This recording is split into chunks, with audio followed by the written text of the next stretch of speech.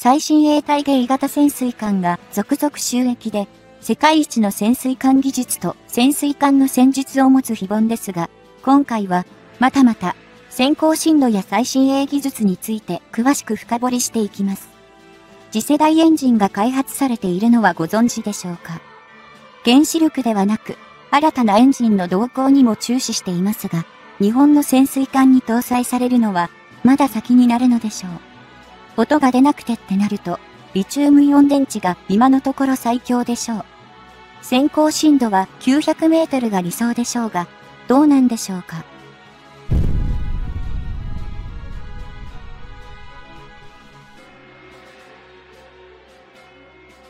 2022年3月、無事に収益の日を迎えた大芸。漢字では大クジラと書きます。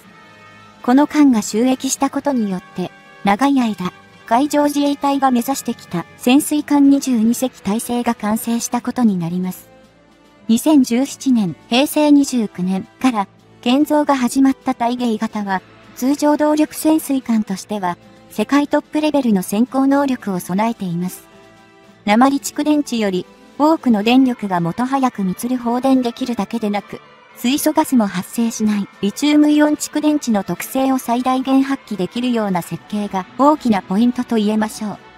潜水艦の航行方法は、ディーゼルエンジンで発電、充電した電気でモーターを動かし、プロペラを回して推進します。先行しながら充電するためには、スノーケルという給排気装置を海面上に突き出し、外気を取り入れながらディーゼルエンジンで航行することになりますが、大芸型4番艦からは、先行しながらでも蓄電池を充電できる新型スノーケル発電システムを採用したので、これまで以上に効率的に潜水艦の充電ができるようになりました。日本近海では、今、アメリカ陣営と中国陣営による合同演習などの活動が活発化しています。アメリカ陣営にはイギリスやオランダなどの軍艦が、中国陣営には、ロシアの軍艦が参加しています。これらの艦艇は、目に見える作戦で相手を威嚇する効果があるでしょう。しかし、戦闘機がステルス性能を高めているのと同様、海洋作戦でも重要なのは見えない行動です。海洋国家日本では、潜水艦の能力が防衛力の鍵を握ると言ってもいいでしょう。確かに、潜水艦は超音速ミサイルや戦闘機などと比べて目立たない存在ですが、日本製は世界一の能力を持っていると定評があるのです。2021年9月、アメリカ、イギリス、オーストラリアが新しい安全保障の枠組み、オーカス、オーカスを創設すると発表しました。同時に、アメリカ、イギリスは、オーストラリアに原子力潜水艦の建造技術を供与すると決定したので、オーストラリアはフランスとのディーゼル潜水艦開発契約を破棄したのです。オーストラリアがフランスの潜水艦開発を中止した理由は以下3点と思われます。一つは、建造計画が大幅に遅れている。二つ目は、選定後5年間でアメリカと中国の関係が悪化した一方、フランスはこの2国間で独自路線を取ろうとして、アメリカ陣営から距離を置いている三つ目が太平洋を知らないフランスの潜水艦での防衛に不安が出たこととみられます。潜水艦の評価ポイントは、秘匿航行能力、探知能力、攻撃力の3つとされています。2016年、平成28年、日本はオーストラリアへの潜水艦売却交渉でフランスと競いましたが、負けました。影には中国の横やりがあったと囁かれているようです。日本の潜水艦は、非待機依存推進機関を搭載しているので、エンジン駆動で蓄えた電気で航行できます。リチウム蓄電池の性能が向上したので、静粛航行時間も大幅に伸びました。航行可能深度は500メートルとされます。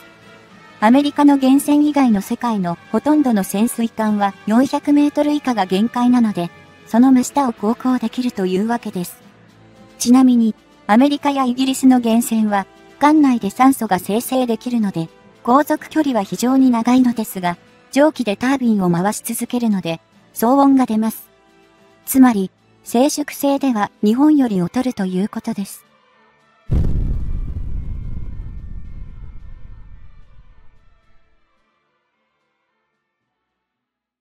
探知能力は、潜水艦の装備と艦外の味方からの情報を、高性能コンピュータでスピーディに統合管理しています。ソナーは、潜水車の酸素ボンベを使った呼吸音のレベルまで見分けるすごい能力を持っていますし、レーダーは潜水艦配備と衛星、対戦勝海域の双方の監視をコンピュータで統合運用しています。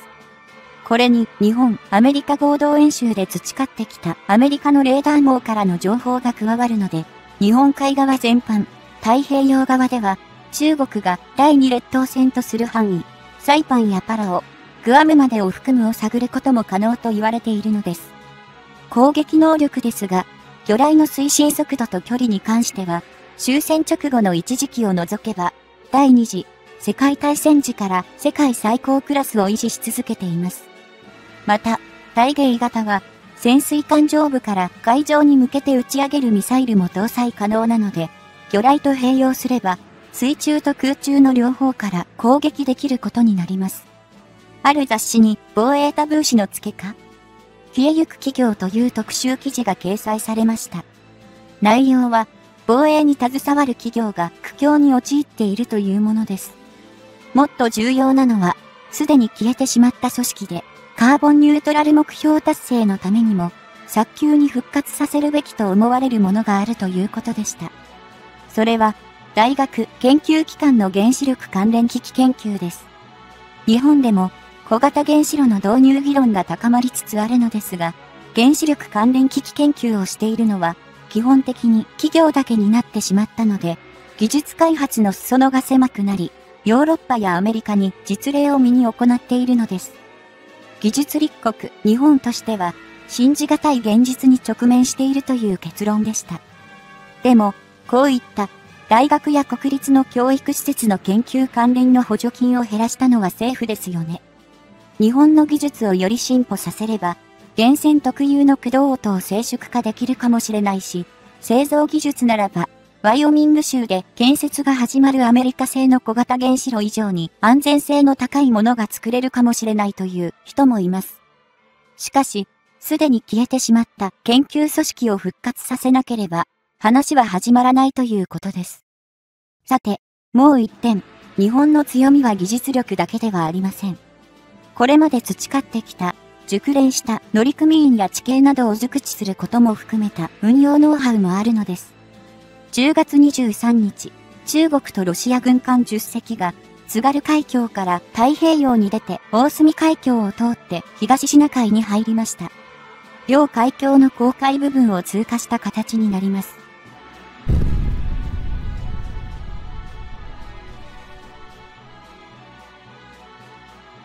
これは安保の専門家が日本領海に開いた穴として問題視する場所ですが、アメリカの核搭載艦船が非核三原則を持つ日本を通るための抜け穴でもあり、中国が第一列島線アリューシャン列島から、日本、台湾、フィリピンを結ぶ線を越えて太平洋に出るための穴でもあるのです。日本にとっては正反対の重要場所とも思われます。この中国、ロシアの航行について自衛隊が取得した情報によると潜水艦はいなかったようです。というのは、津軽海峡では潜水艦も浮上して航行しなければならないからです。この海峡は入り口の両岸距離が狭く 19km、深度は青函トンネル最深部の真上で 140m、しかも日本列島特有の凹凸が多数あって、公海部分は太平洋側付近で40度ほど右折していると言います。なので、潜水艦が先行したまま通過するとしたら、低スピードでジグザグ航行しなければならないのですが、公海部分からはみ出て、日本の領海を侵犯してしまうことになります。それを避けるために、津軽海峡を通過するときには潜水艦も浮上しなければならないのです。公海部分を津軽海峡に設けたことを批判する人の意見は、海峡のすべてを領海にして、通過希望の船舶には、無害通行権を与えればいいというものです。ところが、仮に、外国軍艦が、調査活動などを理由に通行申請してきた場合、日本がノーと返答するのは難しくなります。その場合、潜水艦は、津軽海峡を先行したまま堂々と通過できてしまうのです。日本が津軽と大隅の両海峡に公海を設置したのは、地形などを熟知し、また、第二次世界大戦前から潜水艦運用能力を培ってきたことによる判断と思われます。見えない行動をする能力と、されることへの抑止力はいわば表裏一体です。自分、領土、技術、人材を知って初めて実現できるものですから、両海峡の例は、その典型と言えましょう。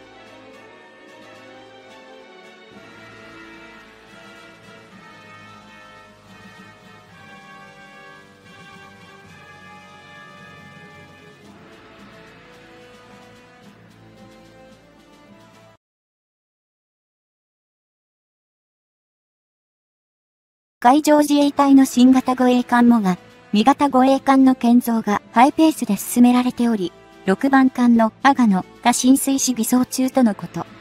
日本の海を守る護衛艦が、毎年2隻ずつ収益していきます。今回は、この護衛艦の最新型である秘密について見てみましょう。少人数化された AI 護衛艦の凄さは、世界に知られることに、世界に向け、日本の公正な護衛艦を販売していくといいのかも。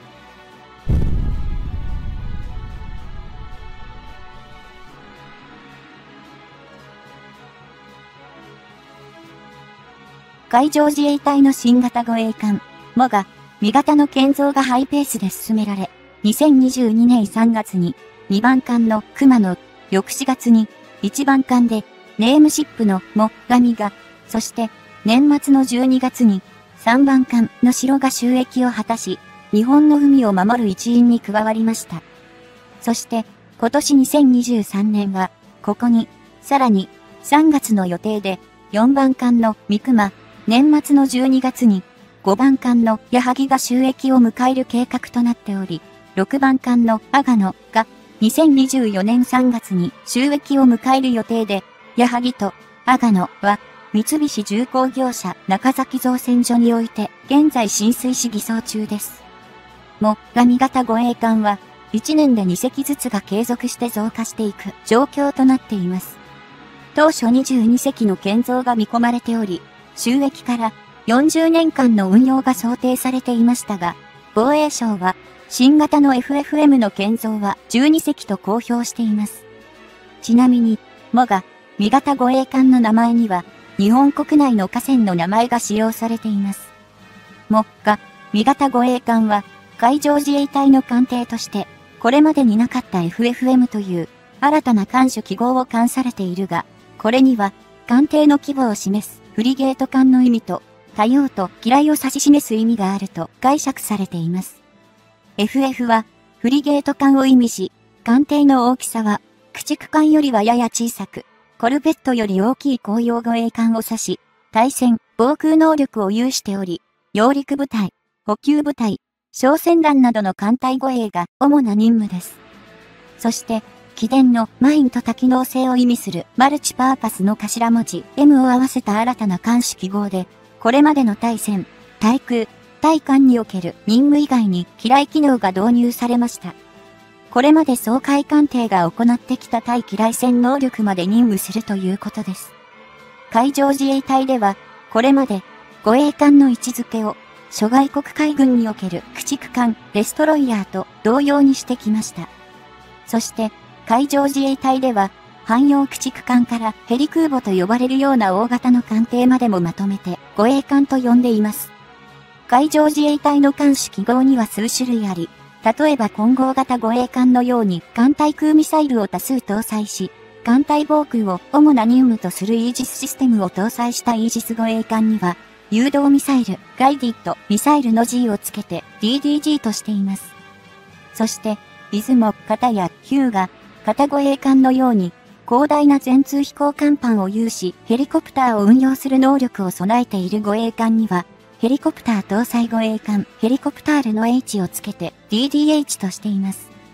また、秋月型護衛艦や村雨型護衛艦などの汎用型護衛艦 DD よりやや小ぶりで、近海、沿岸海域の防備を担って活動している、アブクマ型などの護衛艦には、護衛、エスコールとの E をつけて DE という艦種記号がついています。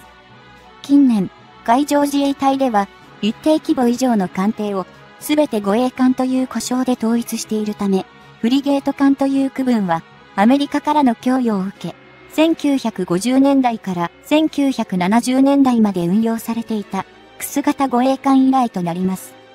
も、ガミ型護衛艦、FFM は、2013年12月に公開された25対抗によって、新型護衛艦の構想が明らかになりました。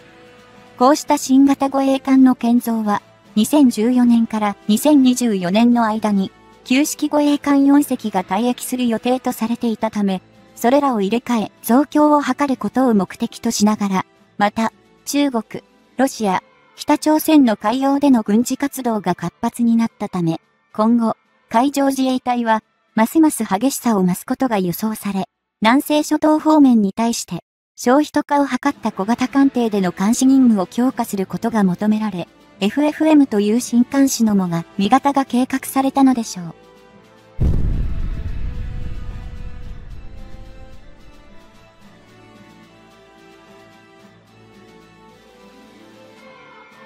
設計当初、もが、味型護衛艦の船体は、多様な任務に対応する能力の向上、船体のコンパクト化が要望されていました。しかし、2015年の研究開発の時点では3000トン型護衛艦と称されていましたが、最終的には排水量がおよそ3割増えて大型化し、3900トンの大きさとなりました。も、神型護衛艦の基本仕様は、基準排水量3900トン、満載排水量5500トン、全長133.0メートル、最大幅16.3メートル、深さ9.0メートルの規模を誇り、世界的なフリゲート艦としても大柄な艦となっています。も、神型護衛艦の機関方式は、海上自衛隊の護衛艦として、初めて、ガスタービンとディーゼルを併用した複合のドタグを採用し、通常時は、ディーゼル、加速時や高速時はガスタービンを併用しています。ガスタービンエンジンは、ロールスロイス社の MT30 を1機、ディーゼルエンジンは、MAN 社の 12V2833D を2機搭載しており、軸出力は7万馬力を発揮し、速力30ノットで航行します。また、モガ、味型護衛艦は、従来の艦艇に比べ、大幅にステルス性を考慮した設計になっており、レーダー反射弾面積 RCS の低減を意識して、主船体や上部構造に傾斜角がついており、全甲板からのナックルラインが飛行甲板まで伸びています。さらに、上甲板の配置は、従来の艦船にある魚雷発射管やミサイルなど、電波を受けやすい機器などの装備品の張り出した部分を艦内に配置し、従来は上甲板に設けられていた暴露部の通路が廃止されています。このように、モが、味型護衛艦は対艦ミサイルなどに探知されにくいステルス性の高い形状となり、船体のカラーも、低下試し性を重視した灰色でレーダーに映りにくく、徹底的にステルス対策された護衛艦となっています。日本周辺のもが味型護衛艦と同規模の艦艇を見てみると、中国海軍の 054A 型と呼ばれている航海2型、ジャンカイ型フリゲートやロシア海軍のアドミラル・ゴルシコフ級フリゲート22,350型フリゲートがあります。2023年1月4日には、ロシア海軍の最新鋭のフリゲート艦である、アドミラル・ゴルシコフ級フリゲートのネームシップである一番艦のアドミラル・ゴルシコフが、極、超音速兵器のツルコンを搭載して航行に出たことが報じられました。この、極、超音速兵器のツルコンについて、ロシアは、射程距離で 1000km 以上、飛翔距離は、マッハ9以上のために迎撃は困難であると主張しています。ロシアのプーチン大統領は、アドミラル・ゴルシコフが、極、超音速兵器のツィルコンを搭載して航行することで、ウクライナ戦争で対立しているアメリカをはじめとする北大西洋条約機構、NATO に対して牽制する狙いがあったと思われます。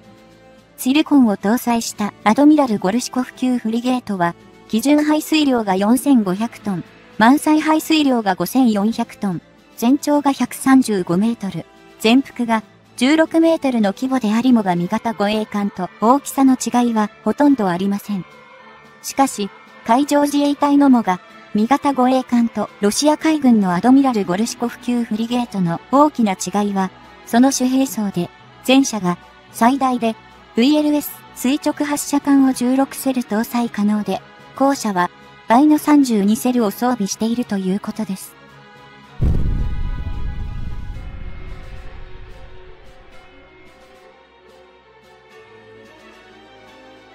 目下、味方護衛艦は、兵装の面から見ても、その特徴は、水上戦闘艦として中武装に振らず、対空、対艦、対戦闘のバランスの取れた兵装と、機雷の除去と施設の能力を付与された多用途艦であるというところでしょう。そのバランスの取れた兵装について、ですが、対空兵器としては、シーラム近接防空ミサイルシステムが1機、62口径5インチ砲 127mm 単装砲1機が搭載されています。この62口径5インチ砲は、目標の捜索から探知、追尾等を行う多機能型レーダー、OPY-2 によって射撃式が行われます。そして、対艦兵器として、一蓋式地対艦誘導弾を、ベースとして国内で開発、運用されている人七式艦隊艦誘導弾 SSM-2 の4連装発射塔2機が搭載されており、さらに、日本の海上自衛隊で調達、運用されている遠隔操作式の無人重火、砲塔、RWS の水上艦艇用機関銃火、遠隔操作型の 12.7mm 機関銃装備型を2機搭載しています。対戦兵器としては、324mm 連装単魚雷発射管が2機搭載されています。このように、多くの任務をこなせる、モガミ型護衛艦ですが、乗員は、わずか90名と少なく、前級とされる、アブクマ型護衛艦の乗員は、120名で、モガ、ミ型護衛艦は、これよりも、はるかに艦隊が大型化しているにもかかわらず、約90名と非常に少ない人数での運用が可能なほどに消費と化が図られており、消費と化に伴って、目下、味型では、クルー製の導入が予定されています。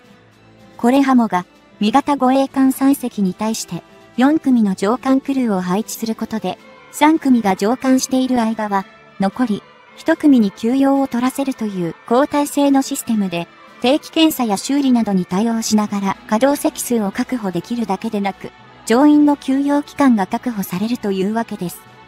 今後、少子高齢化傾向は、ますます加速する上、慢性的な人員不足に直面している海上自衛隊にとっては、その数であっても必要数を充足させることは容易ではなく、そういったことを見越し、消費と化を実現した初の護衛艦となっています。も、ガミ型護衛艦の今後、建造される間の全ての偽装が同じ時期になるように計画されており、これは海上自衛隊でも初の試みだということです。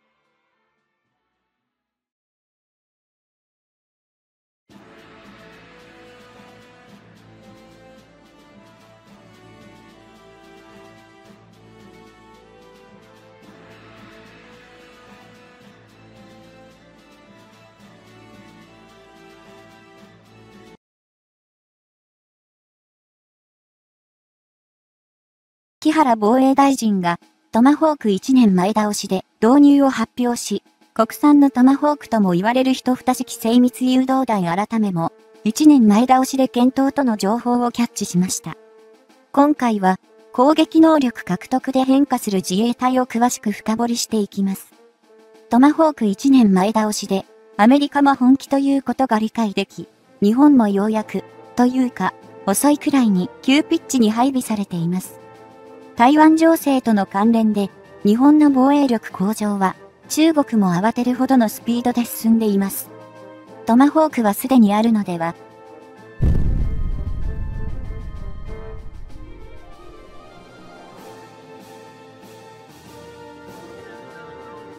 2023年10月10日、現在の日本の岸田政権の閣僚である木原防衛大臣は記者会見に臨み、これまで2026年度を目途に実戦配備を行うことを予定していた国産のスタンドオフミサイルについて導入時期を早めることを示唆した。スタンドオフミサイルとは、敵の防空網の圏外から発射することが可能な長距離ミサイルのことを指しており、主として近年の対空ミサイルの急激な射程距離の延伸に対抗すべく、導入の早期化が求められている。すでに、日本政府は、6日前の10月4日に、アメリカのオースティン国防長官と協議を行った結果、アメリカ製のスタンドオフミサイルといえるトマホーク巡航ミサイルについて、当初予定より1年早めた2025年度の導入で合意を得ていた。日本は、およそ400発ほどのトマホーク巡航ミサイルをアメリカから調達する計画を進めているが、同ミサイルはおよそ 1600km ほどの射程距離を持ち、主として海上自衛隊の水上戦闘艦へ搭載して運用されるものだ。日本が調達を行うトマホーク巡航ミサイルは、艦対艦、艦対地の両用途に使用可能な仕様となっており、飛翔速度こそは音速という点は課題ではあるものの、従来の対艦用のハープーン巡航ミサイル等よりは格段に長射程である。このトマホーク巡航ミサイルのア音速という飛翔速度をもって、現在の対空ミサイルの性能に照らしてみれば、迎撃が比較的容易であり、有効なスタンドオフミサイルとしては機能しないのではないという批判も高めにする。そうした意見も一理あることは、完全には否定はできないが、こうしたおよそ 1600km ほどの長射程を誇る巡航ミサイルを保有することで、少なくとも敵側はそれらを迎撃するための監視体制や機材を稼働させる必要に迫られる。そのような動きを敵側に強いることには大きな意味があり、警戒を怠れば、自軍の艦艇や地上の設備に損害が生じる可能性があると思わせることで、実際の攻撃に至らずとも抑止するための体制を取らせる効果が期待される。ただし、欲を言えば不幸にして、実際の戦闘に突入してしまった場合には、敵の防空網を突破するだけの飽和攻撃が行える数量のミサイルを投射できればなお良いわけだが、日本が調達を決めているトマホーク巡航ミサイルの400発では心もとない。その意味でも、スタンドオフミサイルの数量自体をある程度揃えるためには、やはり国産化を推進しておく必要があり、今回、木原防衛大臣が記者会見で示唆した国産のスタンドオフミサイルの配備の前倒しは、現状では必須と思われる。このところ、主として南部戦線での膠着状態が懸念されているロシア・ウクライナ戦争においても、これまでにウクライナ側に西側諸国から供与された中で、最も長射程な兵器はイギリスからのストームシャドウで、かなり効果的な戦果を上げているように見える。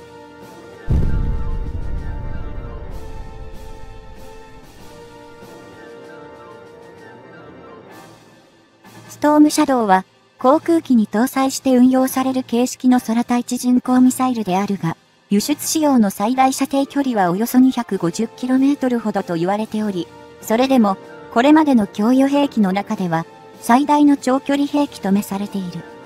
このストームシャドウも飛翔速度は音速であり、いわゆるステルス性を完備したものではないが、これまでの運用状況から見ると、ロシア側の防空網は、その迎撃に成功したとみられるケースはなく、非常に高い精度で攻撃を成功させている可能性が高い。こうした実際の戦争での直近の実例を鑑みても、ア音速の巡航ミサイルであっても、ある程度の防空網を備えたロシア軍に対しても効果的であることは明白となっており、この点は日本にとっても朗報だと思われる。さて、それでは、日本が国産化を当初の予定よりも1年の前倒しを検討しているスタンドオフミサイルが具体的に何を指すのかといえば、一蓋式地対艦誘導弾の能力向上型、当初防衛用の高速滑空弾、潜水艦に搭載する誘導弾が主であろう。一蓋式地対艦誘導弾の能力向上型は、現時点で陸上自衛隊が配備を行っている一二式地対艦誘導弾の改良型であり、現行のオリジナルの最大射程距離は、およそ 200km 弱と、残念ながら長射程と言える性能ではない。しかし、ロシア・ウクライナ戦争でのストームシャドウの有用性を見れば、最大射程距離がおよそ 250km ほどとされる同ミサイルであっても、その価値に疑いの余地はないため、現行の一二式地対艦誘導弾も一定の価値は担保されるだろう。この一二式地対艦誘導弾の改良型である能力向上型は、まず、射程距離をおよそ 900km ほどに延伸することが明かされており、最終的には、さらに、およそ 1500km ほどにまで延伸される予定であり、飛躍的な向上が見込まれている。一二式地対艦誘導弾の能力向上型は、名称こそ改良型を思わせるが、ミサイル本体はステルス性能を加味したほとんどオリジナルとは別物と言える形に進化しており、南西諸島の防衛も九州本土から物理的な対応を可能とするものとなる。また、オリジナルの一二式地対艦誘導弾が、総輪式の車両によって運用させる地上発射型のみであることに比して、能力向上型では、航空機に搭載する形式や、艦艇に搭載する形式への拡張が打ち出されており、多様な発射母体が想定されている。これによって、運用は、陸海空3自衛隊の部隊の全てをカバーすることとなり、より多層的な防衛体制の構築を可能とすると考えられ、もともと対艦攻撃用途の兵器ではあるが、対地攻撃用途にも使用可能な汎用性も実現する予定である。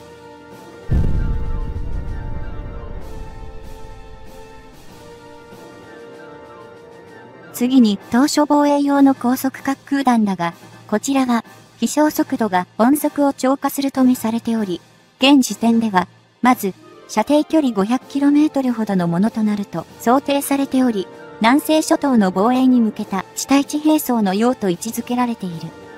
当初防衛用の高速滑空弾は、一二式地対艦誘導弾等と異なり、兵器としての分類上からは、弾道弾タイプの極超音速滑空体 HGV であり、かつての敵基地攻撃能力、現在の日本政府の言う反撃能力を具現化したものとなるだろう。この当初防衛用の高速滑空弾も、2030年代以後を目標に、最大射程処理をおよそ 3000km ほどにまで延伸する計画が打ち出されており、対地攻撃用途に加えて、こちらにも対艦攻撃用途も可能とする改良型も視野に入れているとされる。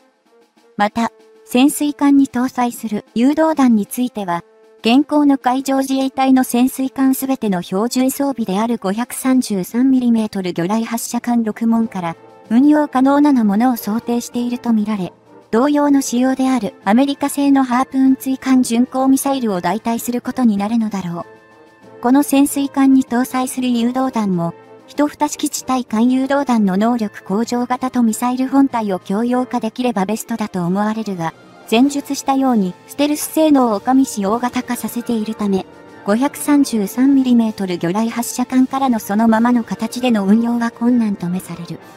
そのため、533mm 魚雷発射管での運用に対応した別バージョンが専用に開発される運びとなることが想定され、最新型のハープーン巡航ミサイルのブロック2と同様に、やはり、対艦、対地攻撃の両用途に対応した形となるのだろう。海上自衛隊では、VLS 垂直発射管を搭載する実験艦の建造を行うこともすでに決定されているが、現状22隻体制を確立した潜水艦隊の主兵装である 533mm 魚雷発射管を有効活用する意味でも、新型誘導弾の実用化が並行して行われると考えられる。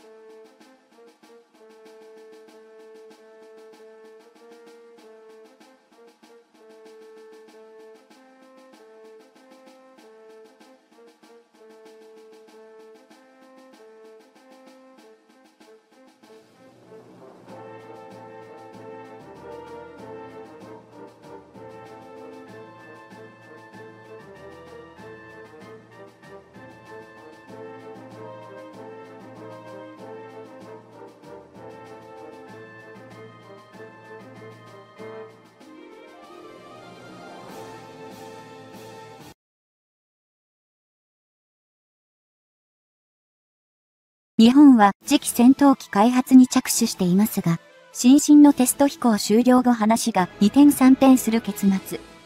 次々機戦闘機を準国産開発するために、現在、イギリスとイタリアとの共同開発計画に参加している。今回は、その3カ国共同開発での XF9 エンジンが使用されるのか詳しく深掘りしていきますね。F3 戦闘機開発は加速され非凡に導入されるのか F35 戦闘機でもかなりの開発期間がかかっていますし、やっぱり X に新進を量産化して航空自衛隊に導入する方が早いような気がするのは私だけ。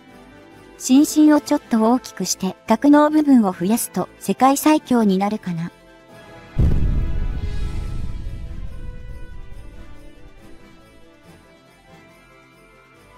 タイトルに関するネット上の意見あれこれを紹介したいと思います。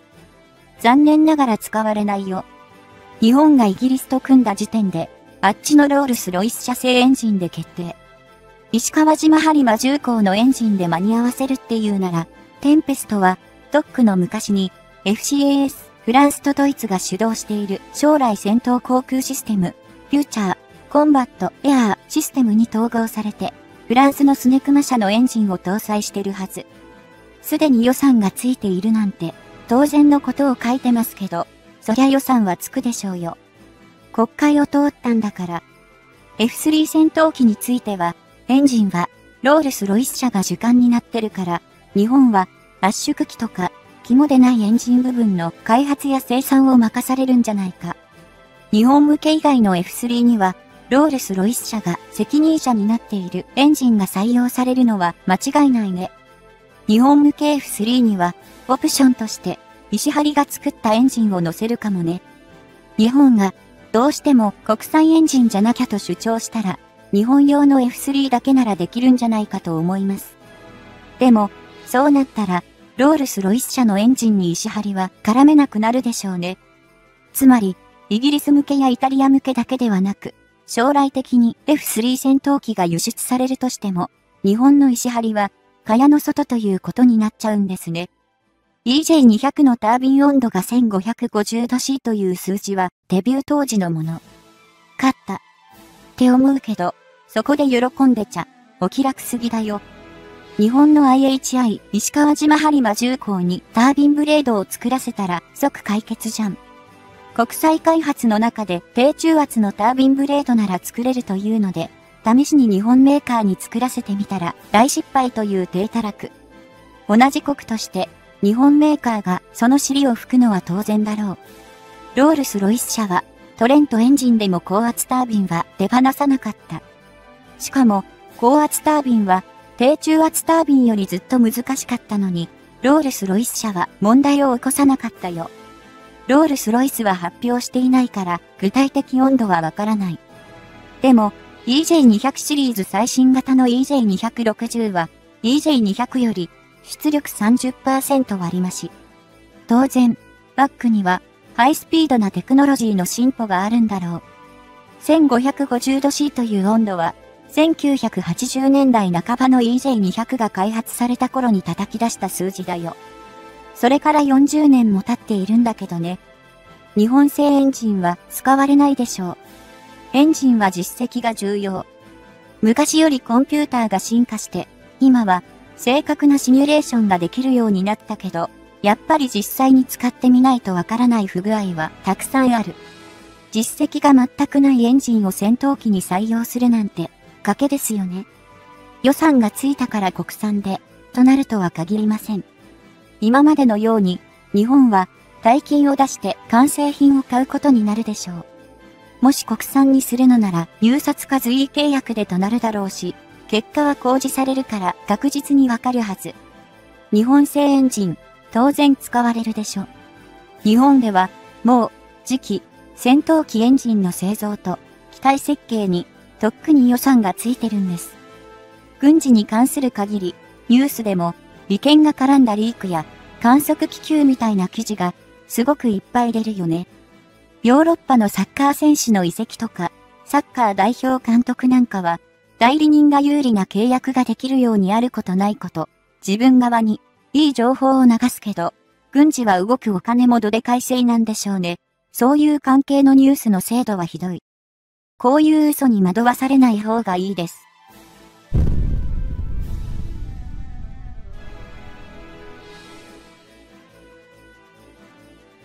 日本の次期戦闘機用エンジンシステムは、設計まで日本の IHI と契約締結されてます。予算を紹介してあげると、2021年度は、次期戦闘機用エンジンシステムその1で、契約相手は IHI で契約金額は158億円。2022年度は同じくその2のエンジンシステムで相手方はやっぱり IHI 契約金額は164億円です。これが次期戦闘機エンジン設計予算から出てるのでちゃんとわかります。IHI が設計したエンジンを次は製造するわけですね。ロールスロイスのエンジンなんて影も形もありませんよ。日本は IHI が設計まで契約済み。今年度は製造にかかるわけです。IHI 以外にどの企業が IHI が設計したエンジンを製造するというんですか？イギリスは2027年に EJ200 の実証機を飛ばしてみたらいいんじゃないでしょうか。エンジン性能のネックになるタービンの入り口温度は XF91 の段階で摂氏1800度 C 以上を叩き出したんだけど、EJ200 戦闘機のは摂氏1550度 C くらいじゃないですか。それでどうやったら間に合うって思えるんだろう。日本向けの F3 戦闘機には、日本のエンジンを乗せるってことで納得してるんですね。イギリス向けもイタリア向けも、それぞれ自分の国の企業に金を落としたいだろうから、ロールス・ロイス社は、自前のエンジンを付けられるなら、やっぱり付けたいでしょうね。となったら、日本のエンジンのライセンス生産にするとかタービンブレードとか一部のネックになる部分は、日本に作ってもらうかの二択でしょうね。EJ200 のタービン入り口温度って、今は一体何度なんだ？ロールス・ロイス社は、旅客機用のトレントエンジンでも、爆発事故とか破損事故とか起きてるんだけど、知らないのかな？解決策として、日本の IHI にタービンブレード作ってもらってるわけなんだけど、あんまり知られてないのか。日本の IHI の実証エンジン XF91 のタービン入り口温度はなんと1800度 C。じゃあ、EJ200 って何度なんですかね？イギリスで2027年に飛行させる実証機を EJ200 タス SG インテークで行うって発表があったからでしょうね。日本は製造しようかととっくに提案してるのに、XF9 系以外のエンジンで一体何があるんですか？イギリスには EJ200 しかないですよね。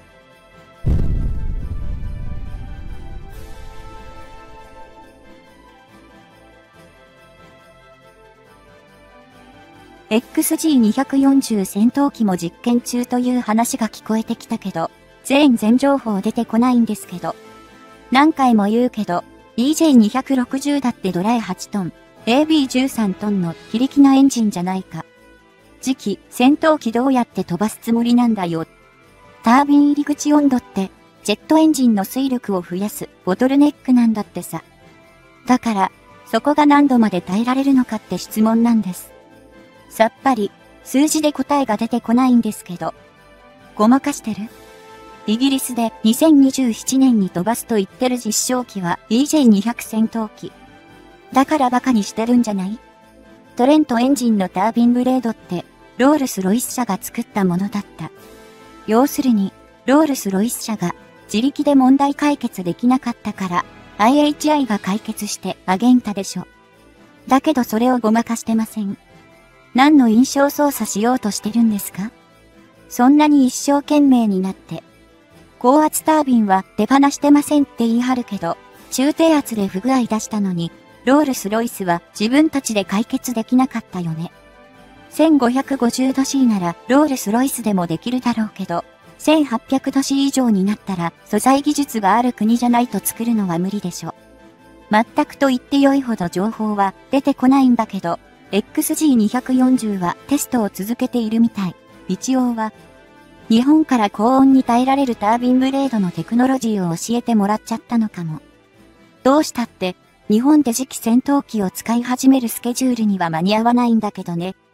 イギリス国内向け戦闘機は、自国が作ったエンジン使うだろうから、X240 エンジンにするかもしれないけど。間に合うならねの話だけど、